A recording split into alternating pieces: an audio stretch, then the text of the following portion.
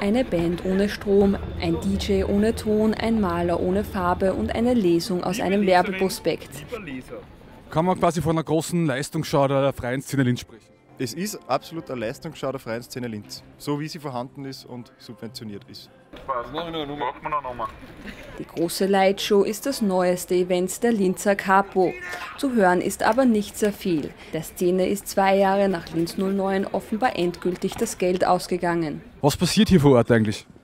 Ja, es wird dargestellt, äh, wie es jetzt eigentlich finanziell bei uns ausschaut. Wir können uns den Strom und die Technik nicht mehr leisten, um unsere Bands richtig in Szene zu setzen. Das ist einfach eine, eine Metapher für den wirklich furchtbaren Zustand der Kunst- und Kulturszene. Das ist die neue Linzer Leitkultur. Kein Geld für kulturelle Vereinigungen, deswegen Bilderrahmen ohne Bilder. Dass er sich nicht einmal mehr einen Strom leisten kann, ist natürlich eine Schande sondergleichen in dieser Stadt die ja immer behauptet, Kulturstadt zu sein.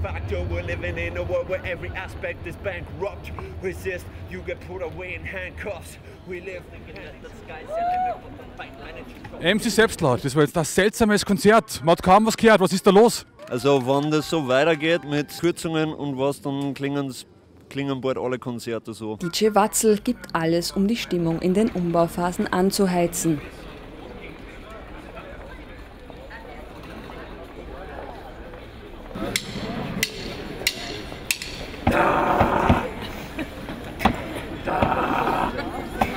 Die ansonsten so lautstarke Band Dirt Torture hat sichtlich Mühe, gegen den Straßenbahnlärm anzukommen.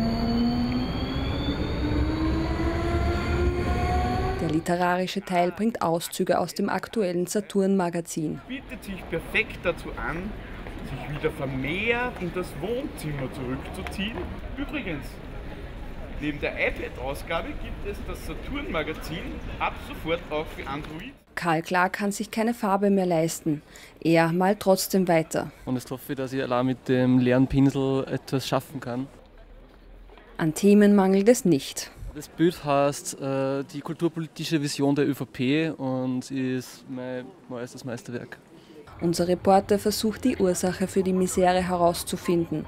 Es sind schreckliche Zustände in dieser Stadt. Wer ist dafür verantwortlich?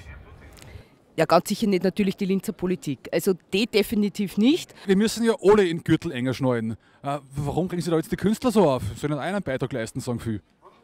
Wahrscheinlich, weil sie den Gürtel eh schon am letzten Loch haben und wenn man sich nicht einmal mehr weitere Löcher leisten kann, dann wird es eng.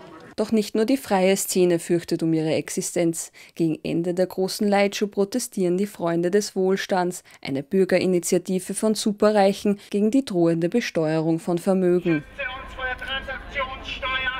Transaktionssteuer. Transaktionssteuer. Heilige Maria Fechter. Es ist auch schade, dass diese freie Szene jetzt ein bisschen weniger kriegt.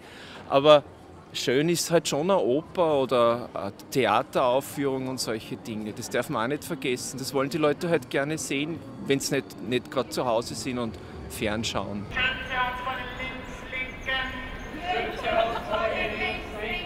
Solidarität mit ihresgleichen ist für Superreiche eine Selbstverständlichkeit. Wir helfen wenigstens zusammen. Das ist ja der Zusammenhalt unter den Besserverdienenden ist ja zum Glück doch immer größer. Die Proleten! Die Proleten! Die Proleten!